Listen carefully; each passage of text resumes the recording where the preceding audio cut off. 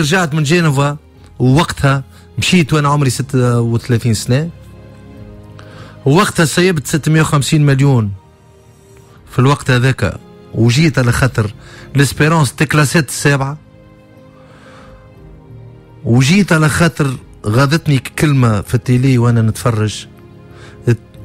L'Espérance متكلاسي السابعة.